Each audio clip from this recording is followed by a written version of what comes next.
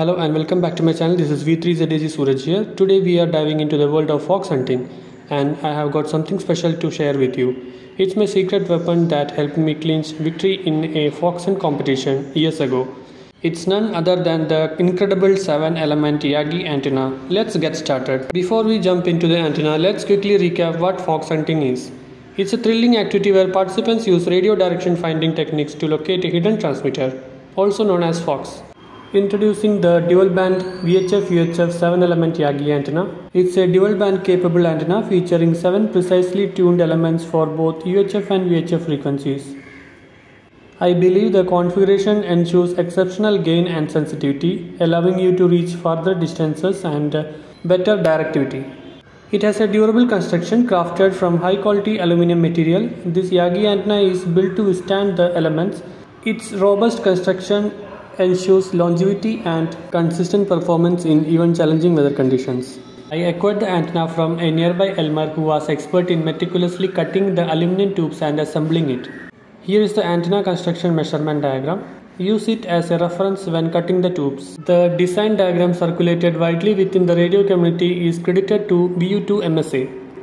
These are the live measurements of completed antenna. The boom measures around 125 centimeter. The length of the longest reflector is 102 centimeter. The driven element measures around 92 centimeter.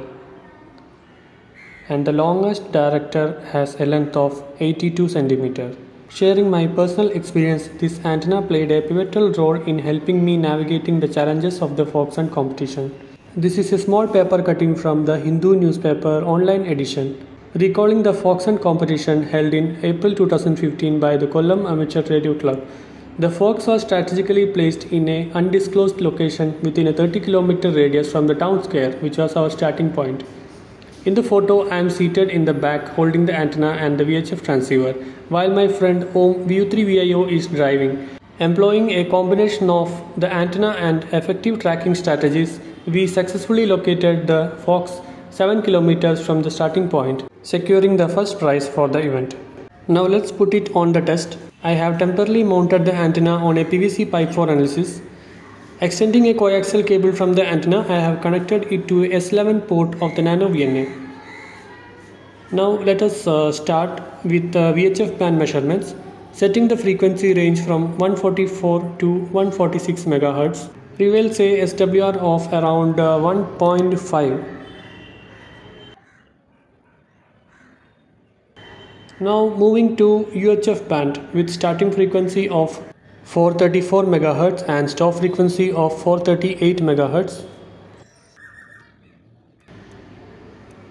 The SWR is around uh, 1.3 in average, extending up to 1.5. This antenna enables me to communicate seamlessly with local repeater stations and simplex channels using my 4 watt handheld radio. Additionally, it proves invaluable for participating in ISS SSTV events and other satellite tracking. If you enjoyed this video, don't forget to like, subscribe and hit that notification bell for more exciting content. Thanks for watching 73s.